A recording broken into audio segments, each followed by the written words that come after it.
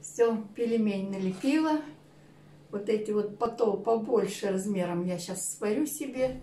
Эти вот маленькие пусть будут. Может, Катю угощу, если я не дома. Я их замучила своими угощениями. Ну, посмотрим. Воду поставила. Все. Два часа замесила тесто. Сейчас уже 15 минут пятого. Вот сколько я проработала.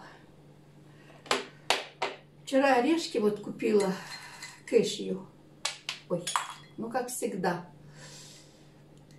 Поджарила вчера их на, в духовке на противне, подсушила. Во-первых, обезвредить, если там кто-то руками лапал. А во-вторых, они подсушенные вкуснее. Вот и все.